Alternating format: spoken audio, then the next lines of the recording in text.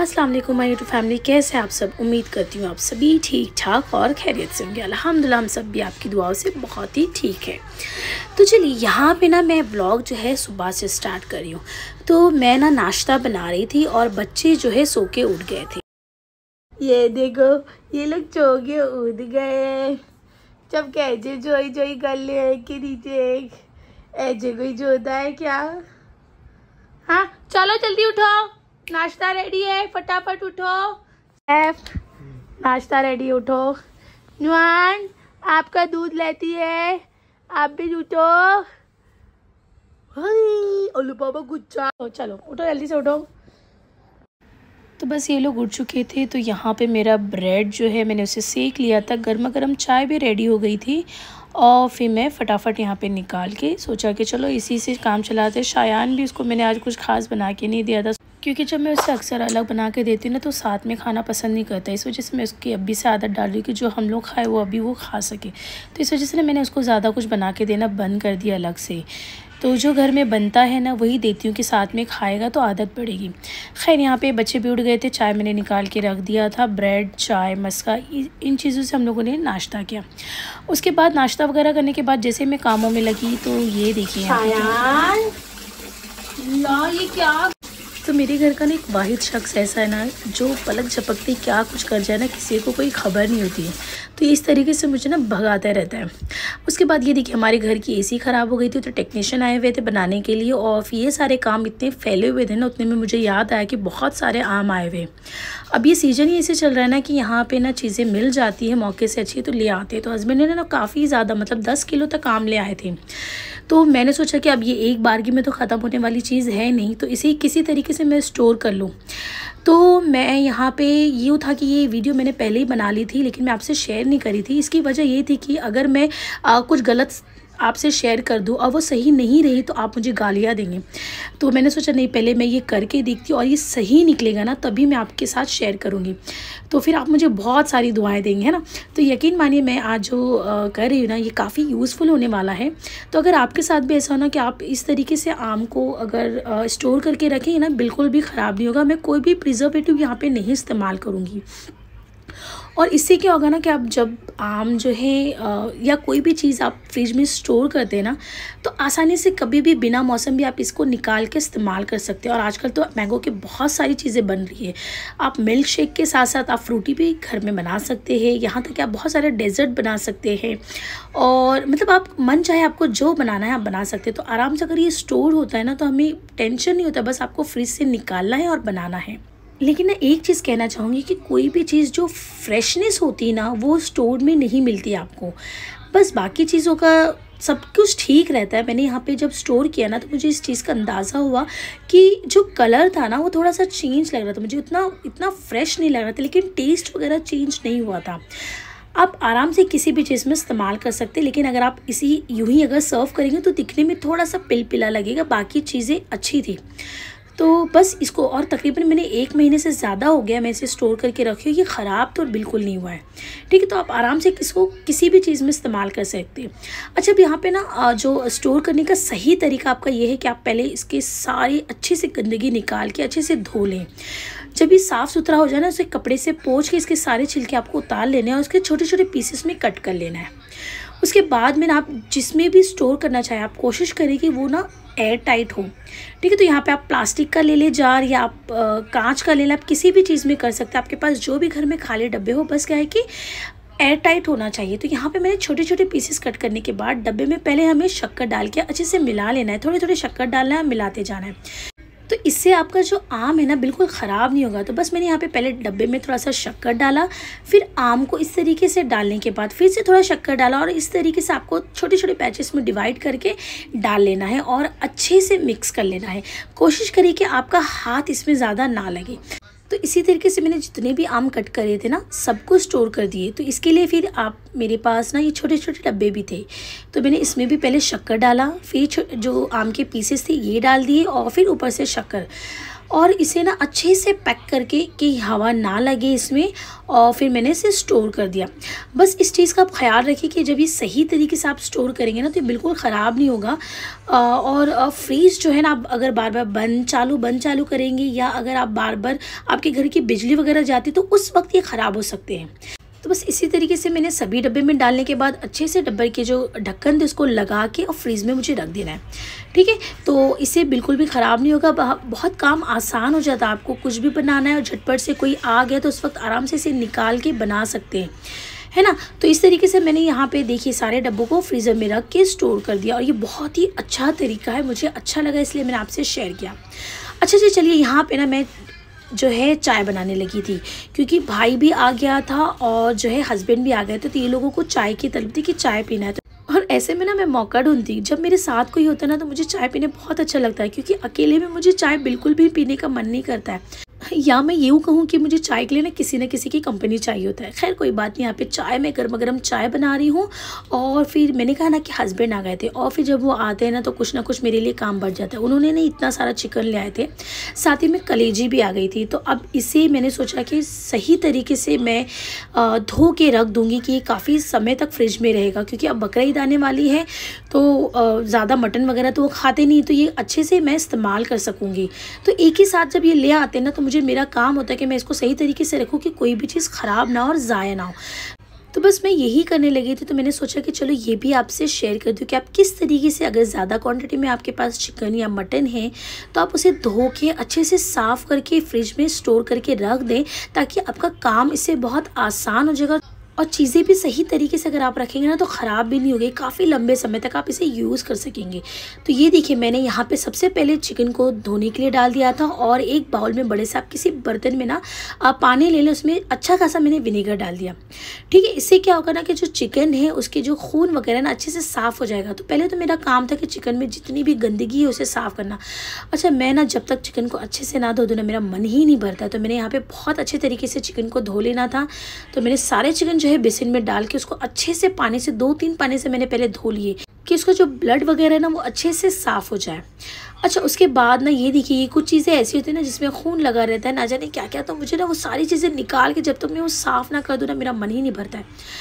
तो चलिए, मैं यहाँ पे साफ़ करती हूँ, उसके बाद ये देखिए, जो कुछ गर्दन वगैरह रहती ना, ये नहीं खाना पसंद करता, और वैसे भी मैंने सुना है कि ये नहीं खाना चाहिए।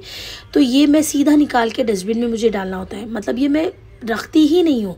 और आपसे भी मुझे यही कहना है, अगर आप ये जो गर्दन खाना पसंद करते बहुत से लोग होते हैं, सबकी पसंद अलग अलग होती है, लेकिन मैंने ऐसा सुना है कि गर्दन नहीं खाना चाहिए, उसके बहुत सारे नुकसान आते हैं। खैर, सबकी अपनी अपनी पसंद होती है तो यहाँ पे मैंने गर्दन को सभी, जब मैं चिकन धोती हूँ ना, तकरीबन तीन किलो चिकन था तो मैंने जितनी भी उसमें गर्दन वगैरह थी, सारी चीज़ें निकाल के मैं पहले ही हटा देती हूँ। ठीक है, उसके बाद अच्छे से धो रही थी, साथ ही में मेरी यहाँ पे चाय भी बन गई थी तो मैंने गर्मा गर्म चाय भी लोगों को सर्व कर दिया और मेरा खाना भी ना आज लेट होने वाला था। मैंने कहा, जब वीडियो बनाना होता है ना तो टाइम जो होता है ना डबल हो जाता है। यकीन मानिए, जब मैं वीडियो शूट करती हूँ ना तो इससे ना टाइम मेरा बहुत ज़्यादा, अगर मेरा खाना जो है एक घंटे में मैं सब कुछ बना लेती हूँ। लेकिन जब वीडियो शूट करना होता है तो उस दिन मुझे दो घंटा लग जाता है। तो मैंने कहा कि आप लोग अच्छे से हैवी नाश्ता कर लो, उससे क्या होगा कि मेरा जो काम है वो होते रहेगा। फिर आप लोग बार बार बीच में ये नहीं बोलोगे कि भूख लगी, खाना दे दो, खाना दे दो। तो मैंने इन लोगों को नाश्ता दे दिया और फिर ये लोग अपना नाश्ता जो है इन्जॉय करे थे। यहाँ पर अभी जैसे कि बकरा ईद आ रही है तो बकरे का ब्लॉग्स तो बनता ही है।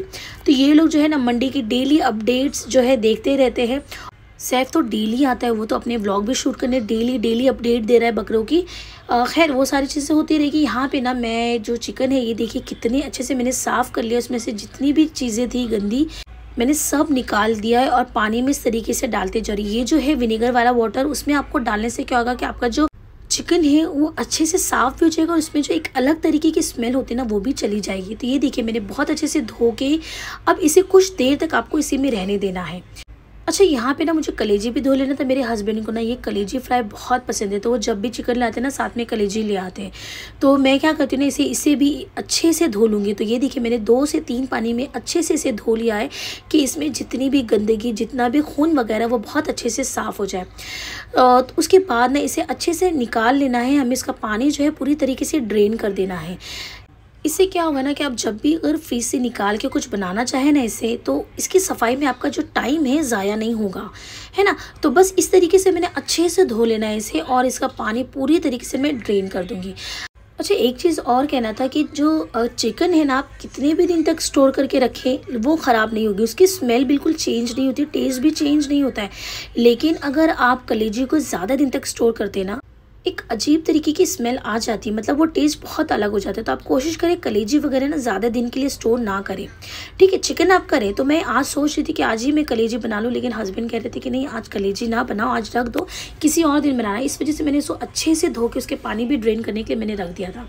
अच्छा मैं आज बनाने जा रही थी चिकन बर्रा तो आ, क्योंकि हम जब भी रेस्टोरेंट वगैरह जाते हैं ना तो वहाँ पे मैं कई बार चिकन बर्रा खाई तो मैंने सोचा आज जो है बहुत सारी रेसिपी मैंने ट्राई कर ली है लेकिन चिकन बर्रा नहीं बनाई तो मैंने सोचा चलो आज चिकन बर्रा बनाती हूँ और आप लोगों के साथ भी शेयर कर दूँगी। तो इसके लिए ना मैंने पहले प्याज को ना चॉपर में इस तरीके से बारीक बारीक चॉप कर लिया था। उसके बाद ना तेल डालना है आपको और प्याज को गोल्डन ब्राउन होने तक पका लेना। मुझे थोड़ी जल्दी थी इस वजह से मैंने थोड़ा नमक डाल दिया कि मेरा जो प्याज है वो जल्दी लाल हो जाए। साथ ही में मैंने चावल चढ़ा दिया। चावल मैंने आज बिल्कुल भी बघार के नहीं बनाया, सादा सा चावल बनाया। तो यहाँ पर मेरा स्टीम राइस रेडी हो रहा है। जब तक प्याज भी गोल्डन हो चुका था तो मैंने उसे ठंडा करने के लिए रख दिया था। यहाँ पे मेरा ये देखिए चिकन को भी काफ़ी टाइम हो गया था। अब ये पानी जो है मैं पूरी तरह से ड्रेन कर दूँगी। जित, कोशिश करिए जितने अच्छे से आप पानी ड्रेन करेंगे, उतना अच्छा होगा।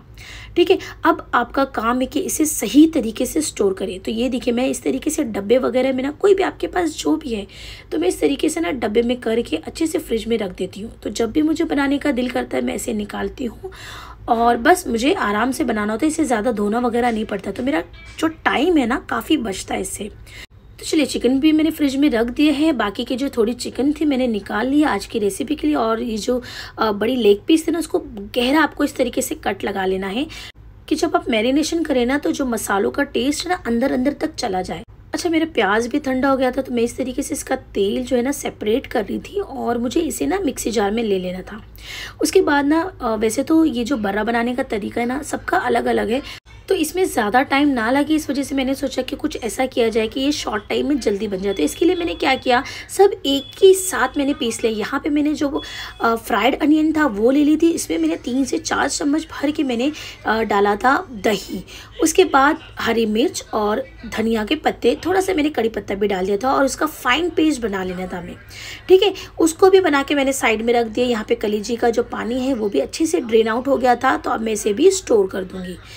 तो चलिए आज की रेसिपी की तरफ़ चलते जो हमने पेस्ट बनाया है। आधा पेस्ट अब हम इसे डाल देंगे, ठीक है? तो देखिए, मैंने आधा ही डाला है और आधा जो है ना मैंने बचा के साइड में रख दिया। अब बाकी के जो मसाले हैं, वो आपको डालना है। जैसे कि मैंने एक चम्मच भर के गरम मसाला, ये होममेड गरम मसाला है। उसके बाद एक चम्मच, एक से डेढ़ चम्मच मैंने धनिया पाउडर डाला था।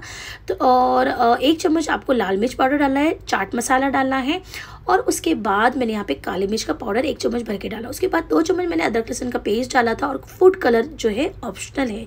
आप चाहे तो स्किप कर सकते हैं, लेकिन इससे कलर जो है बहुत अच्छा आता है। इस वजह से मैं फ़ूड कलर का इस्तेमाल कर रही हूँ। उसके बाद एक चम्मच नींबू का रस डाल देना है और ऊपर से यहाँ पे मैंने जो मैगी मसाला या आपके पास पास्ता मसाला जो भी होगा या अगर पेरी पेरी होगा तो भी चलेगा। इससे टेस्ट जो होगा ना वो बहुत अच्छा हो जाएगा। तो देखिए, सारे मसालों को डालने के बाद अब आपका काम है इसका मेरीनेशन अच्छा होना। मतलब आप अच्छे से मिक्स करें।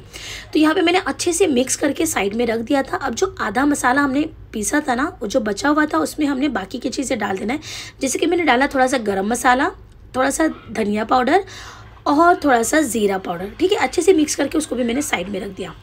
अब उसी कढ़ाई में मुझे लेना है बटर और जो चिकन हमने मैरिनेट करके रखा था, आप चाहे ना तो पूरा दिन रख दे, आप चाहे तो तीन से चार घंटा रखें आप चाहे तो एक घंटा, लेकिन मेरे पास वक्त कम था, इस वजह से मैंने जल्दी ही फ्राई कर लिया। ठीक है? तो ये देखिए, मैं यहाँ पे ना सारे चिकन को फ्राई कर लेती हूँ। तब तक यहाँ पे गर्मा गर्म आज रोटी बनाने का बिल्कुल भी टाइम नहीं था, क्योंकि ये लेट चिकन लेके आए सारा काम। मेरा इतना ज़्यादा हो गया था कि मैं रोटी का बिल्कुल भी वक्त नहीं था। तो मैंने कहा, आज बाहर से ही रोटी ले आओ। तो रोटी जब लेके आया तो ये रोटी ऐसी होती ना कि गर्मा गर्म अच्छी लगती, लेकिन थोड़ी देर बाद ना ऐसे रबड़ की तरह खिंचने लगती है ना कि मैं क्या ही बताऊँ। तो मैं इसे अच्छे से मैंने सोचा, इसे भी डब्बे में करके रख दूँगी कि ये सॉफ्ट रहे। और चावल भी मेरा यहाँ पर रेडी हो गया था चिकन भी मेरा यहाँ ऑलमोस्ट फ्राई हो गया था। अच्छा चिकन को ना आपको थोड़ा सा उलट पुलट कर लेना, दोनों साइड अच्छे से फ्राई कर लेना कि जो कलर है वो थोड़ा सा सुनहरा हो जाए। ज़्यादा आपको नहीं तलना है। तो सारे चिकन मेरे फ्राई हो गए थे। मेरे सारे फ्राइड चिकन को निकालने के बाद आपका जो नेक्स्ट काम है वो करना है। तो ये देखिए चिकन का बहुत अच्छा कलर आया था। तो आप चाहे तो इसे ऐसे इस्तेमाल कर सकते हैं, लेकिन अगर आपको स्मोकी फ्लेवर देना है तो थोड़ा सा इसे एक तंदूरी वाला फ्लेवर देने के लिए मैंने यहाँ पे ग्रिल में थोड़ा सा सेक लिया। था तो ये देखिए, मैंने इस तरीके से सारे चिकन को डाल के थोड़ा सा ग्रिल कर लिया। इससे क्या होगा ना डायरेक्ट गैस पर मैंने सेका था। तो इससे आपको दोनों साइड में सेकना है और जो स्मेल आती है ना, इसकी खुशबू, बहुत अच्छी खुशबू आ रही थी। और वो एक स्मोकी फ्लेवर लाने के लिए मैंने ये किया था। तो बस ये देखिए, मैंने दोनों साइड इस तरीके से सेक लिया है कि इसका कलर थोड़ा सा चेंज हो जाए। बस अब हमें इसे साथ में निकाल लेना है। अगर आपने चिकन बर्रा खाया होगा तो आपको पता होगा कि उसमें एक स्मोकी फ्लेवर आता है, उसके लिए मैंने ये किया था। और ये देखिए, बहुत सही इसके पीसेस आप कोशिश करिए ना बड़ी बड़ी रखिए तो ये बहुत अच्छा एक उभर के दिखेगा। तो ये देखिए, अब मैं यहाँ पे दूसरी कढ़ाई ले रही हूँ। उसके बाद इसमें मैंने लिया है बटर ठीक है, आप अपने हिसाब से डालें। बहुत दिनों से मैं बहुत बटर इस्तेमाल कर रही हूँ।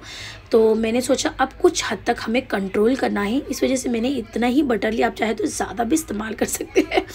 बहुत बटर मेरे घर से मुझे कॉल आया, मेरी बहन, मेरी मम्मी सब यही कह रही कितना चीज़ और बटर खाने लगी हूँ। कम करो, इस वजह से तुम्हारा और वेट गेन हो रहा है। तो बस यही वजह है कि मैं थोड़ा सा अपनी जो डाइट वगैरह वो कंट्रोल कर रही हूँ। खैर, यहाँ पे बटर डालने के बाद हमने जो पेस्ट बनाया था ना, उसे अब इसमें डाल देना है और इसे बहुत अच्छे से आपको भून लेना है। तो इसकी बुनाई आपकी जो है अच्छे से होना चाहिए। उसके बाद ना, मैं यहाँ पर फ्रेश क्रीम जो है मार्केट की नहीं यूज़ कर रही हूँ। मैंने घर की मलाई डाली है और साथ ही में मैंने इसको बैलेंस करने के लिए दूध डाला है। आप चाहे तो दूध की जगह पे पानी भी डाल सकते हैं, लेकिन उससे थोड़ा सा टेस्ट में फ़र्क आएगा। तो ये देखिए मुझे बस इतने ही ग्रेवी रखना था, उसके बाद जो फ्राइड चिकन था, अब हमें इसमें डाल देना है। तो ये देखिए, अब आपको जो फ्लेम है ऑफ़ कर देना है। थोड़ा सा मैंने धनिया पत्ती डाल दिया था, अब आपको नहीं पकाना जब आप इसमें चिकन शामिल करोगे ना, अब आपको ग्रेवी नहीं पकाना है। गैस को मैंने बंद कर दिया है। तो ये देखिए कितना अच्छा ये फाइनल लुक है, इतना है। चलिए मैं सर्व करके दिखाती हूँ। और ये देखिए, इत्तेफाक से भाई भी आया हुआ था और उसने जब खाया ना, कहा, आप इस सच्ची में ये एकदम रेस्टोरेंट स्टाइल आपने बनाया है चिकन बरा कितना टेम्पटिंग लग रहा है, बहुत मस्त बना था। तो चलिए, आज के लिए इतना काफ़ी वीडियो अच्छी लगी तो प्लीज़ लाइक शेयर और सब्सक्राइब करना ना भूले, अपना बहुत सारा ख्याल रखिए, अल्लाह